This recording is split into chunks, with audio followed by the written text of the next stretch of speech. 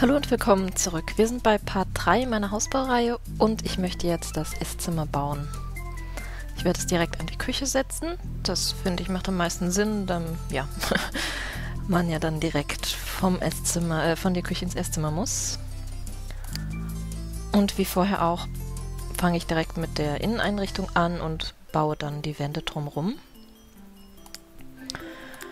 So, erste Amtshandlung ist ein Esstisch finden, denn der wird am meisten Platz wegnehmen und dann werde ich alles drumherum bauen und auf den, an den Tisch anpassen.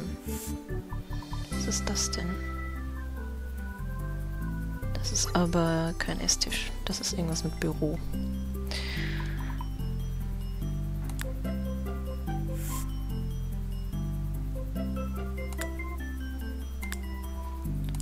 Mir jetzt auch noch gar keine Gedanken gemacht, wie ich das Esszimmer aussehen lassen will. Also werde ich jetzt ganz spontan irgendwie zusammenstellen.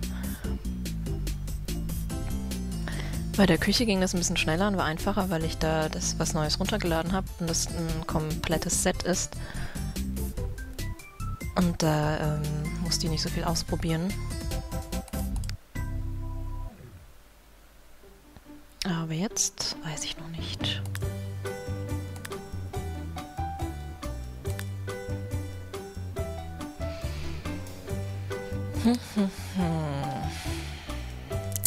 Also da die Küche schon braun ist, will ich es vielleicht im Esszimmer eine andere Farbe. Esstischkommunikation. Ah ja. Es mag vielleicht ganz normal für dich sein, vor dem Fernseher zu sitzen und stillschweigend Essen in dich reinzustopfen. Aber es gibt auch andere Alternativen. Echt? Schalte doch mal den Fernseher aus, setz dich mit deiner Familie an den Kommunikation und erzähle deinen Lieben, was du den ganzen Tag so gemacht hast. An diesem Tisch ist Platz für die ganze Familie. Allerdings sollte alle, sollten alle Familienmitglieder um den Tisch herum Platz nehmen und sich nicht in eine Reihe setzen. Und vergiss nicht, Kommunikation ist wirklich alles. Ich frage mich, wer da sich die Mühe gegeben hat, das, ähm, den ganzen Text dazu zu schreiben. Besonders weil ich finde, das sieht mehr aus wie in so eine Kommode, so, so ein halt, oder wie auch immer man das dann nennt, so ein halt Regaldingens. Aber gut. Ähm, was haben wir denn da? Schwierig, schwierig. Manchmal ist bei den, den anderen Rubriken auch noch was dabei. Also nicht, nee, Couchstich, glaube ich, wirklich nur die niedrigen. Oder was ist das? Ja.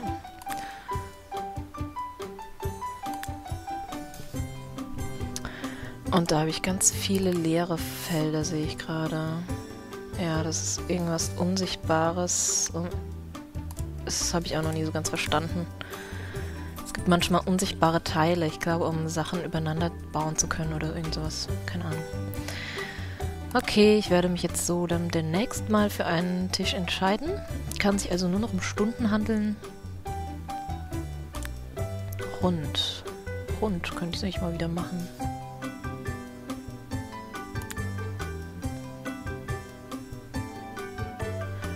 Kann sich natürlich auch schon vorher überlegen, was für eine Familie man einziehen lassen möchte und ob das dann eine große Familie wird oder vielleicht nur zwei Leute und dann kann man das natürlich auch entsprechend dann kleiner halten oder größer. Hm.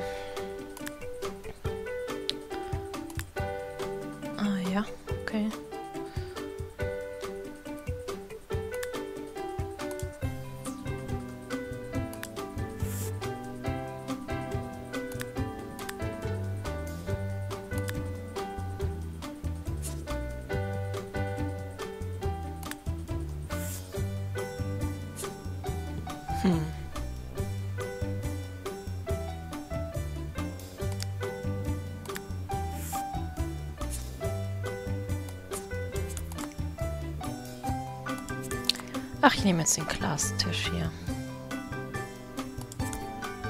Und der ist wie das meiste, was ich so habe, auch von Mango Sims.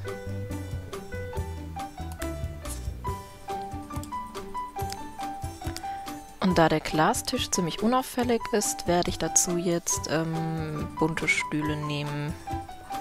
Also nicht irgendwelche Holzstühle, sondern eher was halt dann farbiges.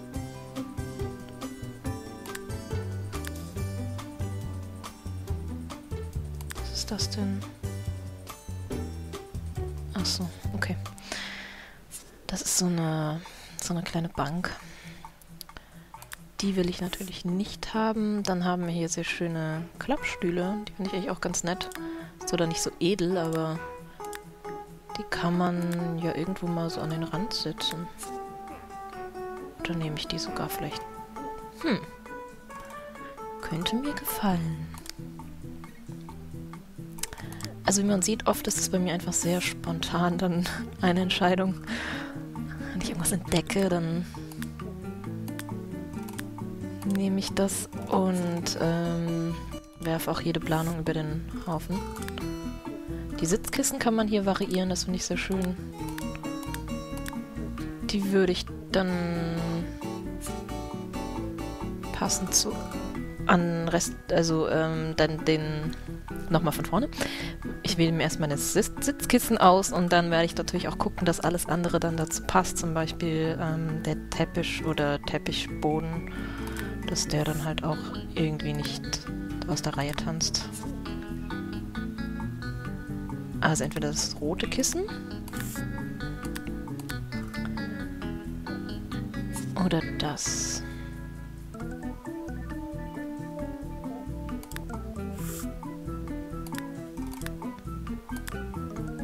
Ich nehme das rote. So. Vier Stühle reichen bestimmt erstmal. Wenn man dann im Live-Modus ist, rutschen diese Stühle ja ein bisschen ein Stückchen unter den Tisch drunter. Das sieht dann auch nochmal besser aus, als es jetzt so mit Abstand. Ähm, okay, dann finde ich natürlich im Esszimmer immer ganz schön, wenn man Regale hat oder so kleine Ablageflächen.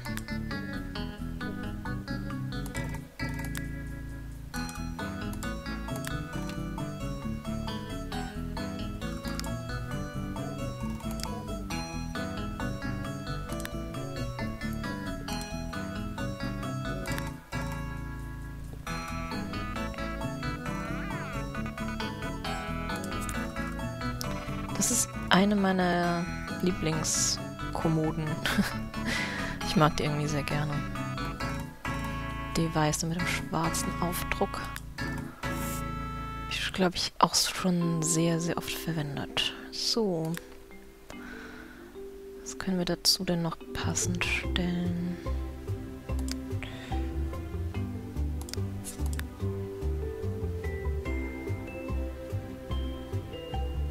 Ich gucke gerade, ob ich irgendwas Rotes habe, weil das wäre dann natürlich...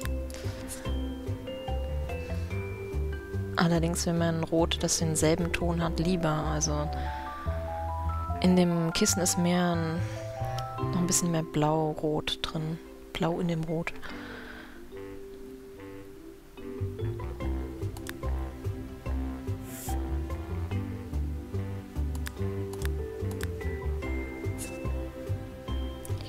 Was Schwarzes noch nehmen. Nicht mal dahin stellen. Ähm, dann nicht vergessen, für die Wand kann man natürlich dann auch noch... Aber bevor ich das mache, kommen Fenster rein.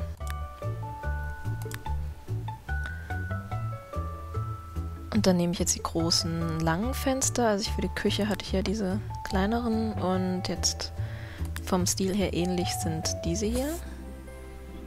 Und die setze ich ins Esszimmer. Jetzt weiß ich nicht wie rum. Ich glaube so rum.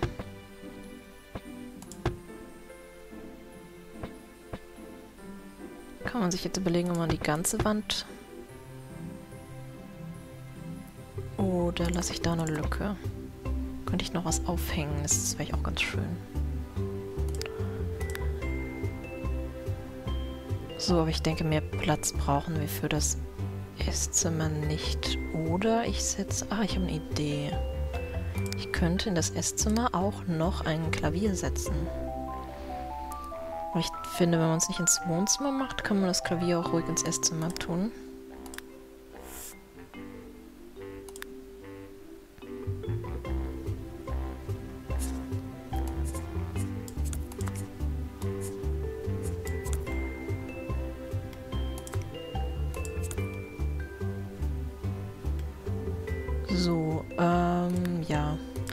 Ganz gut, wenn man dran denkt, dass man noch solche Sachen hat. Bücherregale zum Beispiel.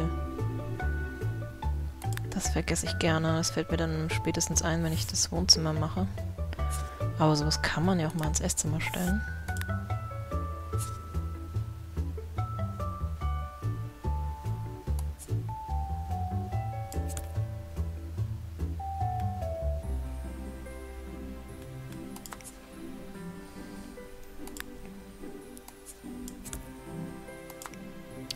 Wobei ich verdecke mir nicht gerne den Kühlschrank, damit ich dann, wenn ich die Sims steuere, halt schnell da dran komme. Das sind so Sachen, also wenn ich die Häuser baue, dann baue ich es eigentlich auch so, dass, ähm, wie wenn man dann danach auch mitspielen würde. Also mit den Sims dann drin.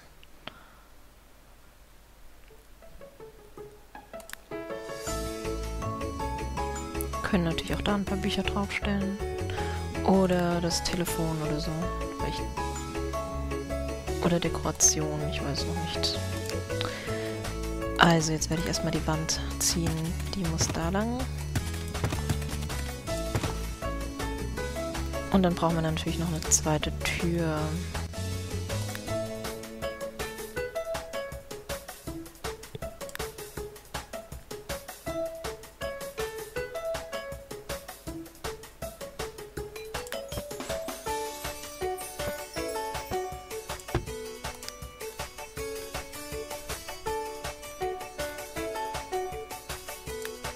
Dann gehe ich über zum Boden.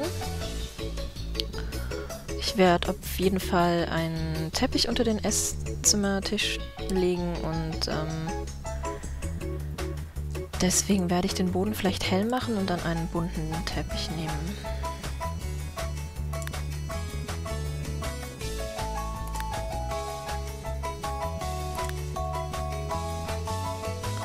Weil so ein farbiger Boden ist mir, glaube ich, doch ein bisschen zu viel.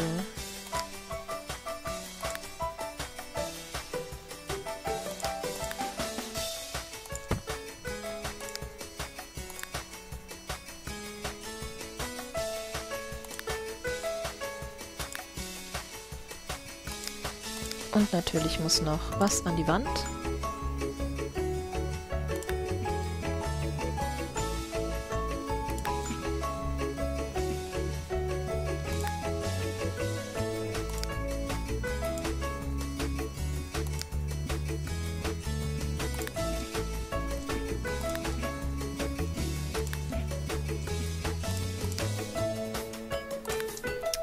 Heißt es jetzt halt einfach wieder ausprobieren. Vielleicht muss ich auch erstmal den Teppich auswählen und dann fällt mir vielleicht das mit der Wand auch leichter. Und interessanterweise findet man, wenn man die so Möbelsets runterlädt, Teppiche meistens bei diesen verschiedenen Sachen und nicht unter Teppiche.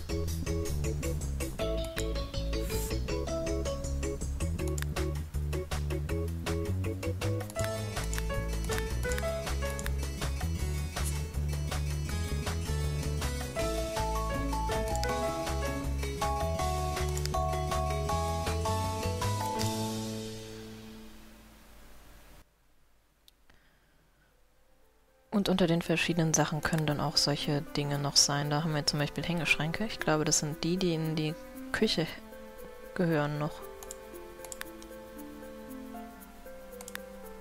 Oder hier so eine Abzugshaube. Ich habe natürlich jetzt ähm, über dem Herd ein Fenster, deswegen weiß ich nicht, ob das mit der Abzugshaube so gut aussehen würde. Könnte ich natürlich auch noch hinsetzen. Finde ich aber immer ein bisschen seltsam vorm Fenster. Dann vielleicht eventuell das Fenster versetzen und dann...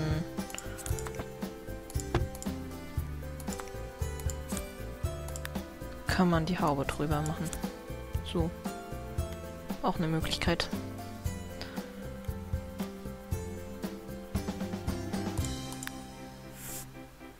So, hier sind ganz schöne Teppiche.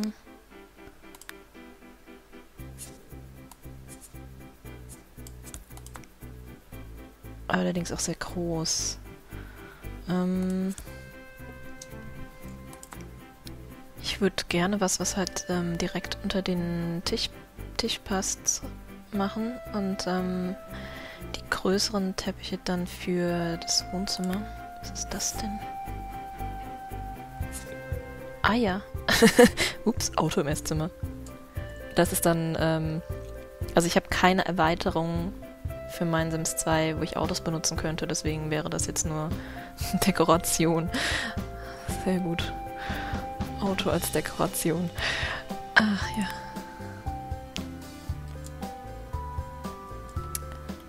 Also gut, aber wir sind ja immer noch, äh, immer noch beim Teppich. Teppich, Teppich, Teppich. Ach, was nehme ich denn da? Das ist vielleicht auch nützlich.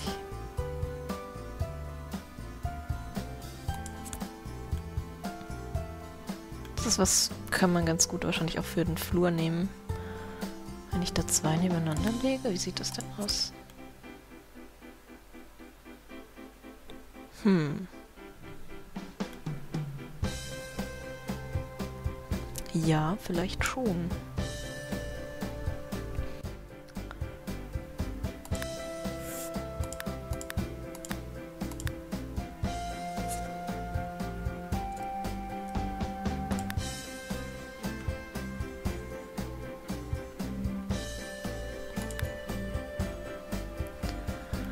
Okay, dann gehe ich jetzt nochmal zu den Wandbelegen und danach mache ich wieder den Feinschliff, also Lampen und ähm, Kleinteile und Dekoration.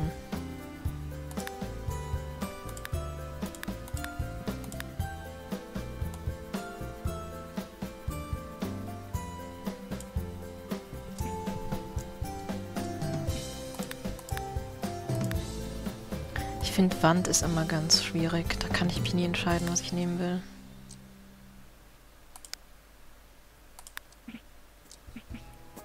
oftmals sind es dann doch ähm, die dezenten Sachen, hell und ja, nicht viel Geschnörkel dran.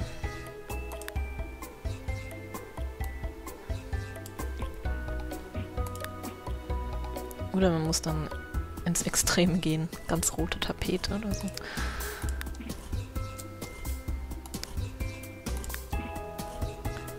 Leider hat die so eine Bordüre oft, oder wie man das auch immer nennt, da oben, mit so Blumen, die ich nicht schön finde. Das ist natürlich, das ging auch noch, das ist eigentlich ganz witzig.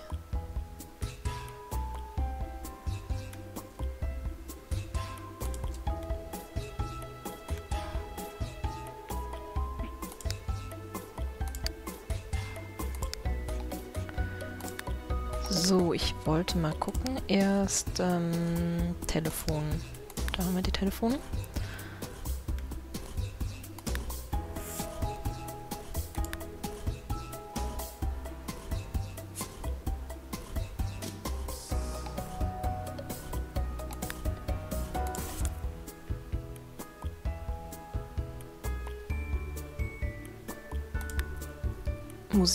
Natürlich hier auch noch reinsetzen oder eben ins Wohnzimmer.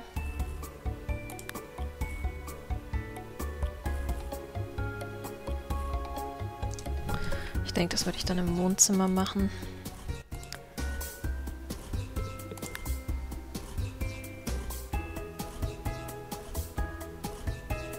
Und jetzt gehe ich mal die ganzen Kleinteile durch. Würde nämlich gerne was auf den Tisch stellen und noch auf die Kommode.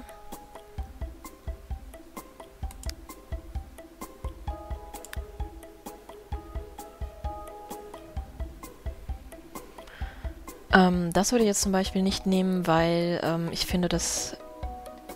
Ich zeige das mal da. Ähm, das Pink oder naja, was ist das? Dunkelpink, Lila, Aubergine, wie man auch immer das nennen möchte, von dieser hinteren Flasche passt einfach nicht zu den Rottönen. Und das beißt sich. Und deswegen würde ich das nicht nehmen.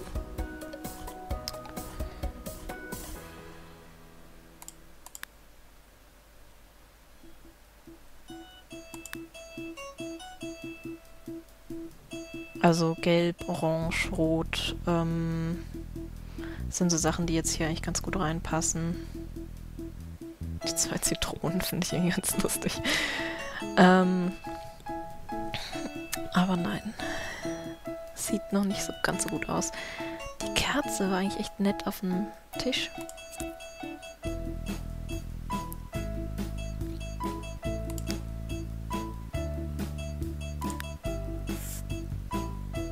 Das sind Vasen. Und da meine Schale mit Äpfeln. Grün geht auch noch, kann man auch noch hinsetzen.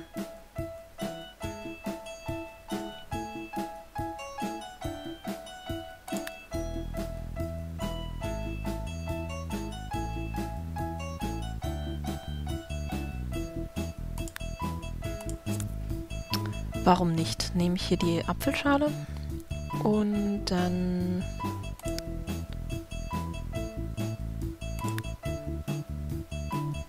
lasse ich den Esstisch vielleicht frei, sonst...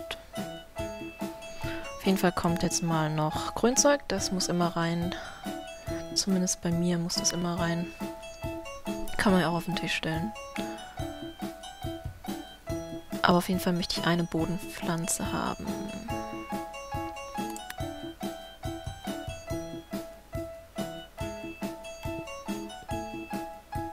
Ich da was neben das Klavier.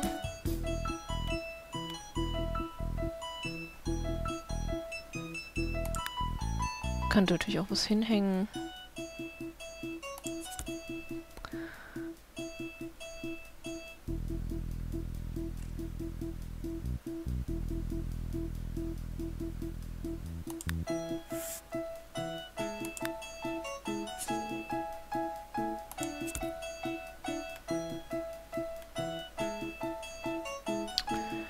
Beim Esstisch muss man natürlich dann aufpassen, wenn man ähm, hier mit den Sims dann spielen möchte, dass dann auch die sich dran setzen können und ihren Teller hinstellen können.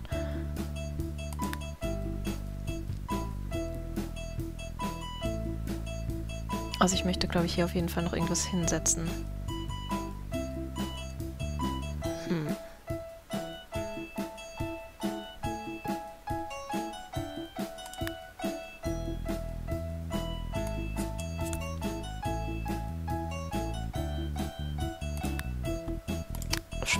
Stimmt. Spiegel sind auch nicht schlecht. Was haben wir da denn? Huch. Das ist irgendwie so ein äh, verspiegelter Wandschrank. Kann man vielleicht auch ins Bad setzen.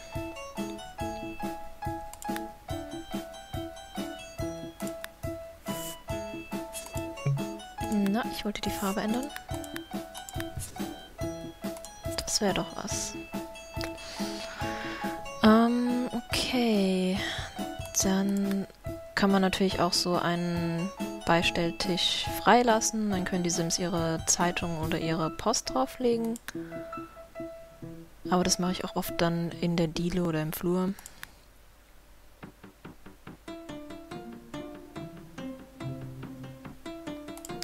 Deswegen setze ich da jetzt einfach mal auf den Tisch noch was drauf.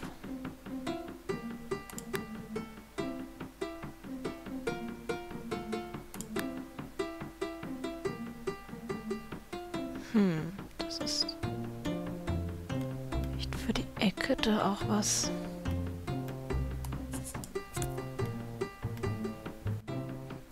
Das sind natürlich auch gerade die Farbtöne jetzt, die hier sehr gut reinpassen.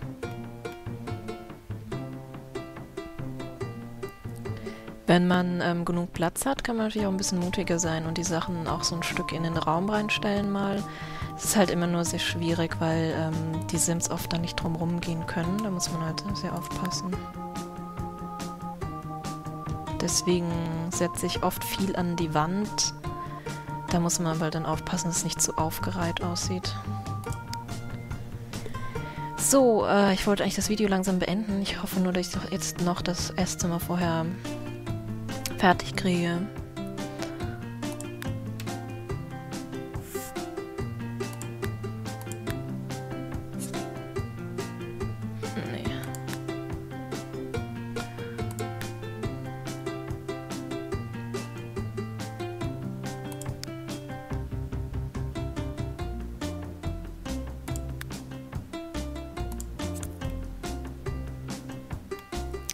Na gut, ich lasse es jetzt erstmal dabei, dann ähm, kurz die Wände anzeigen, damit ich noch Bilder aufhängen kann.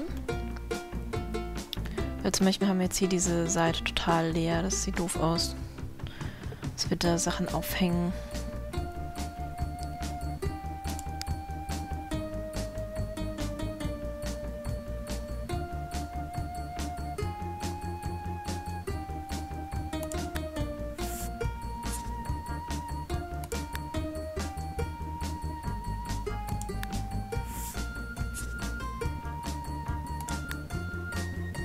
Hm. Das ist ein bisschen hart.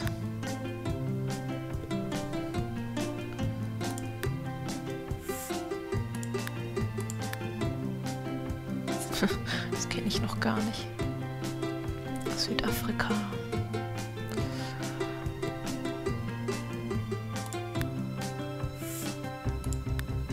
Oh, ich mag ja das Bild total gerne. Mit der Katze. Passt nur leider hier nicht ganz so gut.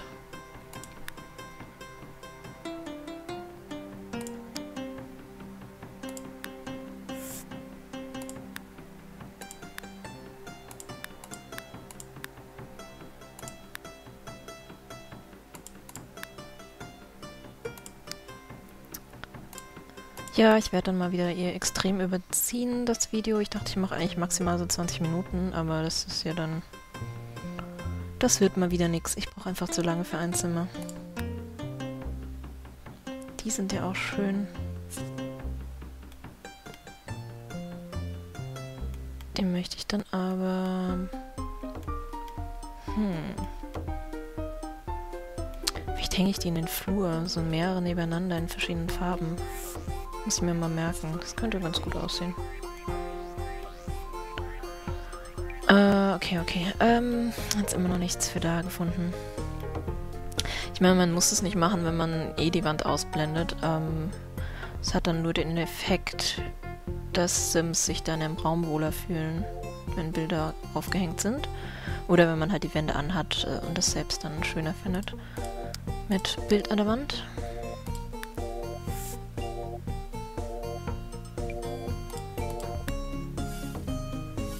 Dann nehme ich einfach das Regal mit Bild.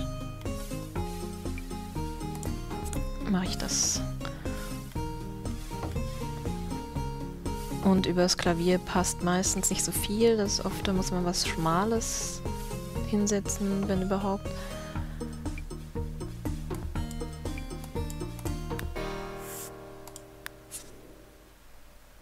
Das sitzt dann sonst doch so direkt dran. Aber da müssen wir nicht unbedingt was hinmachen. Also, dann können wir jetzt die Wand wieder ausblenden. Und dann brauchen wir natürlich noch Beleuchtung. Und ich möchte neben das Klavier eine Stehlampe haben.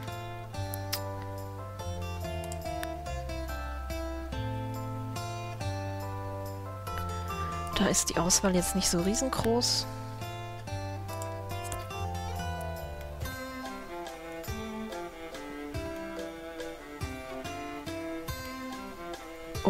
Und ähm, gucken entweder eine Hängelampe über den Esstisch oder Wandbeleuchtung. Bei solchen hängenden Lampen bin ich auch mal ziemlich pingelig und ich finde die meisten nicht so schön. Das würde hier eigentlich fast noch reinpassen. Ist aber sehr groß. Sowas kann man auch mal an die Ecke hängen. Hier zum Beispiel. Passt aber auch nicht so gut jetzt zu der Lampe. Ähm, ich werde mal bei den... Ach, das ist ja auch eine geringe Auswahl. Da muss ich irgendwann mal... Ich hoffe, ich finde da mal mehr für.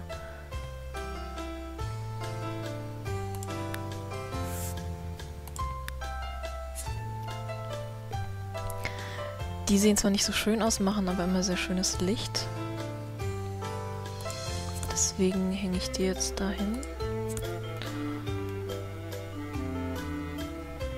Und hier sitzt überall... Dann muss ich das dahin machen. So, wenn ich nichts vergessen habe, haben wir jetzt hier unser Esszimmer. Ich habe jetzt noch keine Vorhänge aufgehängt. Ähm das werde ich dann aber im nächsten Video vielleicht noch machen, wenn ich dran denke. Ansonsten kommt es irgendwann später auch mal dran. Ja, damit ist unser Esszimmer fertig. Ich hoffe, euch gefällt es auch ein bisschen und dann sehen wir uns beim nächsten Mal. Vielen Dank fürs Zuschauen. Bis dann.